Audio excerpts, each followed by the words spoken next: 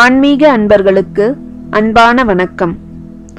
நமசிவாய வாழ்க நாதன் தாழ்வாழ்க இந்த பதிவுல நாம குலச்சிறை நாயனார் பத்தி பார்க்க போறோம்.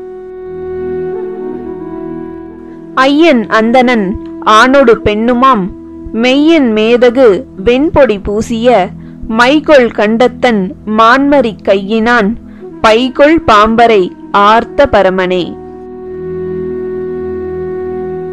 கத்தும் கடலும் அதனில் முத்தும் மூத்த முத்தமிழும் சந்தனமும் செந்தன்மையும் உடைய பாண்டிய நாடு. இப்படி பழங்காலத்துல புலவர்களால புகழ்ந்து போற்றப்பட்ட பாண்டிய நாட்டுல மணமேற்குடின்ற ஊர்ல மரபரியார் குலத்துல பிறந்தவர் தான் குலச்சிறையார். சின்ன வயசுல இருந்தே முக்கண்ணனான சிவபெருமான் மேல அதீத பக்தி கொண்டவரா இருந்தாரு. அதோட அடியார்களுக்கு செய்யற தொண்டுதான் நமக்கு வீடு பேறு அடைவதற்கான வழிங்கிறதுல உறுதியா இருந்தார். சுந்தரமூர்த்தி நாயனாரால பெருநம்பி குலச்சிறையார்னு போற்றப்பட்டவர் இவர்.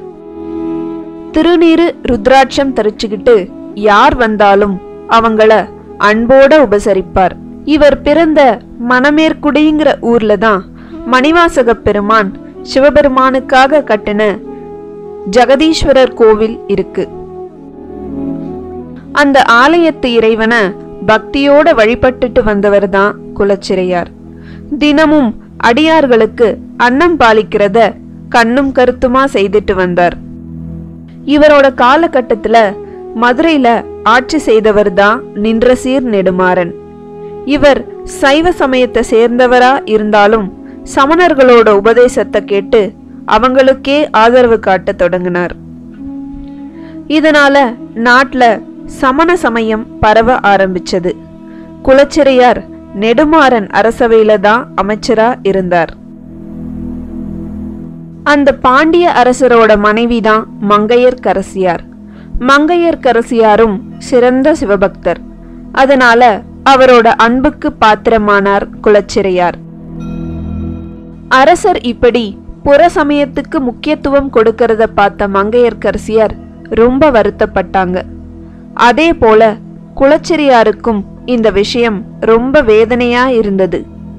தன்னோட உள்ள குமுறல அரசியார்கிட்ட போய் சொன்னார். அந்த சமயம் ஞானசம்பந்த பெருமான் சோழ நாட்டில் சைவ சமயம் தழைக்க கோவில் கோவிலா போய் சுவாமியை வணங்கி பதிகம் பாடிட்டு இருந்தார். அந்த விஷயத்த ரெண்டு பேரும் கேள்விப்பட்டாங்க. உடனே அரசியார் குலச்சிறையார சோழ நாட்டுக்கு அனுப்பி ஞான சம்பந்தர பணிவோட பாண்டிய நாட்டுக்கு அழைச்சிட்டு வர சொன்னாங்க. சம்பந்த பெருமானும் அவங்க அழைப்பை ஏத்துக்கிட்டு பாண்டிய நாட்டுக்கு வந்து சேர்ந்தார். சமணர்களோட வாதம் பண்ணி சைவ சமயத்தை தழைக்க செய்தார். தோத்து போன சமணர்களுக்கு சரியான தண்டனையையும் கொடுத்தாரு. இப்படி நிறைய சமய தொண்டுகள்ல ஈடுபட்டு வந்த குலச்சிறையார் ரொம்ப காலம் வாழ்ந்து முடிவுல சிவபெருமானோட திருவடி நிழல சேர்ந்தார். இதோட குலச்சிறையாரோட வரலாறு முடியுது. இவரோட குரு பூஜை நாள் ஆவணி மாதம் அனுஷ நட்சத்திரத்தனைக்கு வருது. இவரோட அவதாரத்தலம் மணமேல்குடி முக்தித்தலம் மதுரை. இறைவனோட அன்புக்கு பாத்திரமான இந்த அடியார நாமும் போற்றி வணங்குவோம். இந்த வீடியோ உங்களுக்கு பிடிச்சிருந்தா லைக் பண்ணுங்க ஷேர் பண்ணுங்க கமெண்ட் பண்ணுங்க. மறக்காம இந்த சேனலுக்கு சப்ஸ்கிரைப் பண்ணுங்க. நன்றி.